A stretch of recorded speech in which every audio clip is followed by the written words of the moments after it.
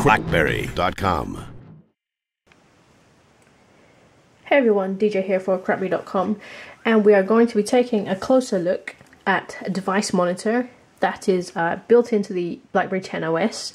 Um, came about 10.2, very limited, but now in 10.2.1, if I'm correct. Um, uh, there's a lot of features that you can um, make use of.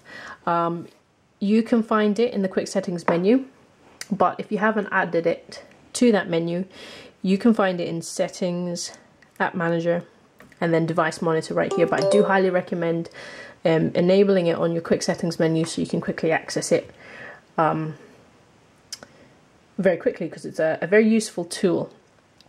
Um, now you can see here uh, battery, CPU, memory and sto storage. This is what device monitor monitors for you. Um, now I had this plugged in, charging, um, and by default when you load it up it shows you your device usage since last charge.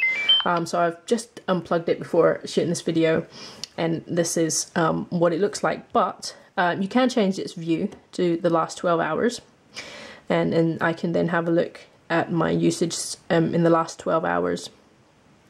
And you can see there and also what was taking up um, most of my battery life and it's the display since I do keep using it. Um, so the display and then you can go down the list and see which apps are um, using up most of the battery. You can uh, jump into an app and see further details specifically on the app. So this app, you can see how much battery it uses, um, CPU, its memory usage, and also how much data it uses, mobile Wi-Fi. Um, so you can you can jump into each app and then get a further look at um, the app itself. Um, from here you can see uh, you can delete the app if you wish and you can also close. Um, so let me find an app that I can actually close. Um, okay, they're all kind of closed, but basically it will um, close the process entirely there and shut it down. Um, but uh, that's the battery section. Um, CPU, the same again. Um, also show um, your CPU usage and what apps and services um, are using uh, your CPU the most. Again, you can jump into these and um, get further look of the same um, charts.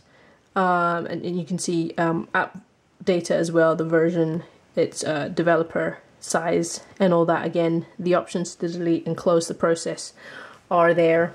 Um, memory so what's taken up um, RAM just now um, apps and whatnot. So again you can open this um, see what it's doing. I have the close uh, option available here. So I can jump to close and basically it will close processes and shut it all down.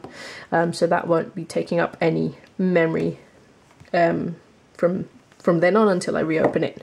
Um, uh, pretty handy and you can see obviously a, a quick uh, pie chart there, see at a glance.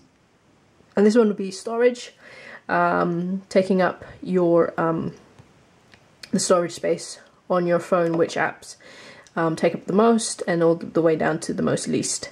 Again, you can jump into each of these and see um, version info, um, developer and all that. And again, the option to delete right from device monitor so you don't have to jump into BlackBerry World or even the home screen and delete from there.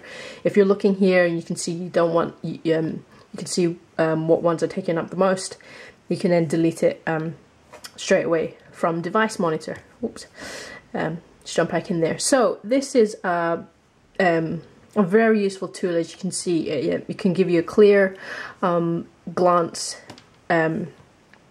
at what is eating up your resources, eating up your battery, and you can then rectify, delete an app if, it, you find it's taking up too much um, of your resources.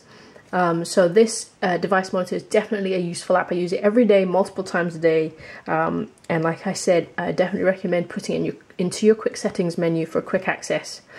Um, it's grand, and also when you um, you can see your battery percentage when you swipe down right there as well um, but you can see it in lots of different places but that's it's pretty neat to have it in your quick settings menu Um, so yes, that is a look at device monitor for BlackBerry 10. Very, very, very useful.